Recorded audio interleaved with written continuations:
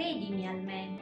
Senza di te languisce il cuore. 意味としてはラングイッシェからうん、ラングイッシュは難しい単語ですけれども、表現はやはりイタリア人強いなという印象を受けるんですけれどもまあ情熱。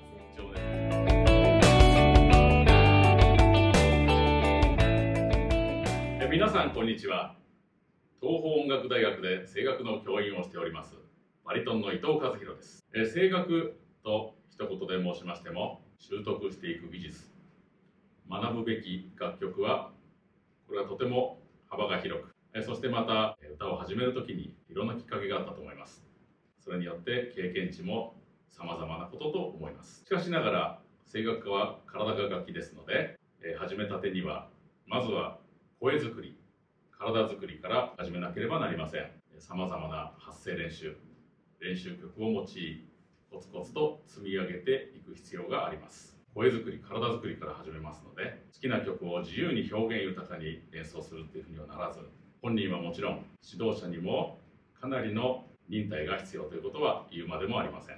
そして自分が楽器であるということ以外にもう一つ大切なことそれは言葉歌詞があるということです。日本語はもちろんですけれどもイタリア語それからドイツ語。本学東本学大学ではウィーンにキャンパスがありますのでドイツ語にも大変力を入れております。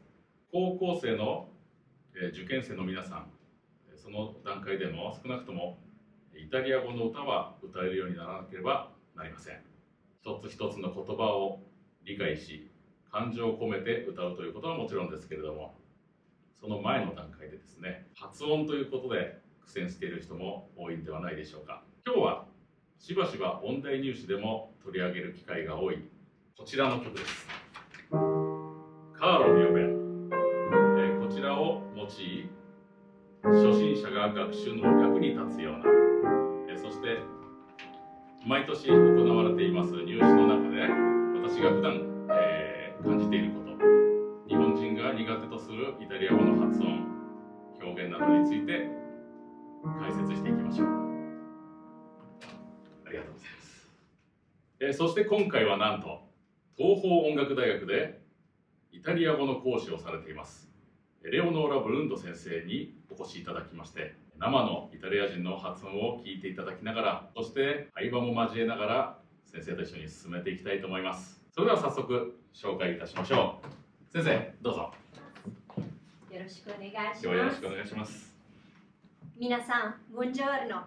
今日は伊藤先生と一緒にカルミオ弁の発音について勉強したいと思います。えーおそらく歌を始めたばかりの皆さんは下にカタカナを書いてですねそれを上の音に当てはめていくような、ま、やり方が多いんじゃないかと思いますけれどもやはり歌ですので詩を朗読するということが一番大切なことの一つであります最初から一つ一つ日本人としてよく注意すべき発音なんかも解説をしていきながら見ていきたいと思います。 Caro mio ben, credimi almeno, senza di te languisce il cuore. Caro mio ben, senza di te languisce il cuore. Il tuo fedel sospira, ognor, cessa crudel tanto rigor, cessa crudel tanto rigor, tanto rigor. Caro mio ben, credimi almen, senza di te languisce il cor. Caro mio ben, credimi almen, senza di te languisce il cor.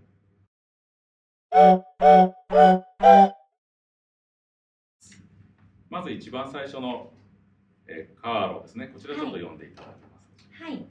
caro ですねカーロカーロ これあのよく気になるのはですねこの R イタリア語で R と言いますけれどもこれは巻き舌なんですけれどもこの、まあ、母音と母音に挟まれたような R はあまり強くならないで発音しなければならないんですけれどもちょっと強めの人もいるということですね。ちょっとこの場合は柔らかい感じ。うんうんううんん、だから、カロじゃなくて、カロ、カーロカロ。あのわざと僕がイタリアにいた時に試したことがあってえー R を少し強めに言ってみて小さい女の子6歳の女の子は何て言うかなと思ったら「汚い!」とこう 言われたというそんなエピソードでございました。うんえーまた意味もこれは愛しいというような、まあ、意味も含めて汚い発音にならないように気をつけてみてくださいそしてその次ですけれども「えー、ミーヨ」という発音ですがこれアッチェントトーニコが「い」のところにアクセントがきます、えーですので歌う時は「ミーヨ」というふうに入らなきゃいけないんですけれども「ミョ」というような発音をする人もいますのでここも注意が必要です。ベン。まあ、日本人はこの B の代わりに時々 B 言っちゃうんですね。うんで B を言うときにちょっと口、えっと、ビルだけ使ってください。B、B、B。B の場合はちょっと歯が、えっと、下の唇噛むみたいな感じね。B、B。V の場合は。B です。だから唇だけ唇と。唇が合わさるような。はい。でそれからこの「ベン」というふうに終わるんですけれどもこの最後の「エンネ」「エンネ」「N」の発音が日本人ちょっと奥なので歌う時にも「ベン」奥行ってしまう人が多いように感じますがどうでしょうかね。まあそうですね。実はもともとベンの代わりにベーネ書いてあるはずですね。そうですね。ベネは福祉です。意味はよく。この場合は、うん、ベンなので、ちょっとベンヌじゃなくて、もっと柔らかくうん言った方がいいと思います。あの今先生おっしゃってくださいましたけれども本当は「ベンネ」と最後の「え」の母音が入るんですけれどもこれはあのトロンカメントそうですね語尾切断というあの技法で最後の母音カットされるんです。ただその最後の N「エンネ」の発音が聞こえないといけないので、まあ、ここも注意が必要かということです。意味としては愛しい私の、うん。まあ良いということですけど、まあ、大切な人ということでしょうかね。はい、まあベネは福祉だけじゃなくてうん。名詞この場合は名詞ですけど、うんうん。あの名詞扱いの副詞ということですね。次の発音。これちょっと難しいですがこれはクレディミクレディミ、ということです。はこの AR はあのしっかり巻くということですね。い、そうですね。日本人がよく気をつけなければいけないのはその L、L と L、R の違いというのが日本人はあのなかなかあ不鮮明と言われていましてこれがクレってこう L のようになってしまう人も多いですねね。多いです。ね。うん。あとはまたククの後にうの母音が入ってしまうというのが多いかと思うんですね。これはやはり日本人にカタカナというものがあるの。クレという多分カタカナでクレと書くとはいクの後にうが入ってしまう。ですからクレクレクの後にすぐ R が来ないといけないということです。そしてその次の発音。これはあ今度はえー逆に L の発音になりますがこれはアルメンアルメンということですね。L はですね、まあ、L はあの上の歯のところですね、付け根あたりに、ねはいあのベロの先がくっついて、ううとこう発音しなければいけないんですけど、割と日本人はこの発音するときには、お腹が効かないで、ええってこう緩くなってしまう。で、お腹効かそうとすると、うの母音が入ってしまって、アルメンとこうなってしまうんですね。うんねアルメン、すぐ行かないといけない。この辺も注意が必要。うんちょっとつなげなきゃいけないですね L と L と M すぐ、はいすぐ後に来るとですね。で、これもまたあのトロンカメント、そうですね。アルメーの、はアルメのうんうん。はい。最後の母音の「お」が本当は入ってるんですけれども、それがカットされていると。そして、えーアッチェントトニコ、アクセントはアルメーのところに来ますので、アルメンってこういうふうにすぐ来ないで、えの母音がなるべく長くなるように歌う必要があるという。ことです。えーまあ、発音とは別にあの歌唱の中では母音歌唱、母音唱法ですので、えーなるべく母音がずっと埋まっていくように歌う必要があるということです。意味としては命令形になりますでしょうかね。そうですねクレディミは命令形です信じてください信じてください。私のことを信じててください。で、アルメン、まあ、これ日常会話でもよく使う言葉ですよ。先へ参りましょう。まあ、これはあの普段もあの音楽をやってる皆さんでしたら使う機会が多いかもしれませんが、センツァですね。あと先生発音して。はい。ではセンサセンサさここの「えっとうん」の発音も、えーなかなか難しいところでありますね。まあです。そうですね、うん。ちょっとずうんうん。またはす。発音もあの日本と同じように鉛なんかもありますので若い高校生の皆さんなんかは YouTube を聞いてすぐ聞いてしまうと、まあ、いろんな癖がありますのでなるべくスタンダードな発音をものにできるようにしてください。あこれはなかなか注意が必要な単語な気がしますけどそうですね。Languisce languisce ということです。この言葉の最初に来る L, L の発音もちょっと不鮮明になりやすいような印象があるんですけれども。まあ L だからまあ柔らかいうん音にしましょう、だからラ languisce languisce ということですね。そしてその先、とてもお重要な言葉ですけれども、il はい、いうこの L の後にも L の後にもうの母音が入る人が多いかなと思うんですけれども、いるとなってしまう人が多いかなと。うの L の L の発音の後にすぐこのこの C の発音が来ないといけないですね。il cor わかりましたでしょうか？意味としてはラングイッシェから。うん。ラングイッシュは難しい単語ですすよねれども。悩むか悩な、む。うん、悩むかあのーまあ僕これ高校生に教えることもあるんですけれども、例えばやつれるとかね、な、うん。えー意味わかる？とかって聞いたりするんですけど、まあ、心が痛むというかね。そうですね、うんというような言葉ですね。ですのであの先生おっしゃってましたけども柔らかい L の発音より必要かと思います。この後ずっと繰り返して一緒なんですけれどもはい。その先へ参りましょうか。Il tuo fedel sospira このこれも先ほど出てきましたね。L の後に「う」が入らないように注意が必要。はい。でそれからこの「to」をもアチェントトニコの問題僕は結構気になるんですけれども「うん、to」の人が多いようなそうかもしれないね。ね。やっぱり。まあ il tuo というアクセントは「う」の上にそうなんです。ですからたとえ短い音でも自分が出しやすい母音で伸ばしたいということですね「お」の方が少し声が出やすいから「お」が伸びてしまうということがあるんですけれども言葉が大切ですので「う」にアクセントが来るように扱ってください。それからその後の「フェデール」これも最後の「L」がはい。R になったりってよく見るんですが。そうですね。これもまあトロンカメントさっきはい。先生もおっしゃった通り、フェデーレもともとはフェデーレです。忠実な。忠実な。だからまあ L しかないからうん。その後に母音がないので言いにくいかもしれないんですけど、うんうんうん。でも次の次来る単語につなげてみたら問題は特にないと思います。うんじゃあ例えば、il tuo fedel sospira。つながっていますよね。でよくあの歌の中でもあのイタリア語を喋るように歌えばいいんだよってお話になるんです。ただイタリア語を喋れないとどういうふうに喋るかわからないと。今先生あの見見せてくださいましたけれどもイタリア語ってつながるんですね。えーですのでレガート商法の元はこう。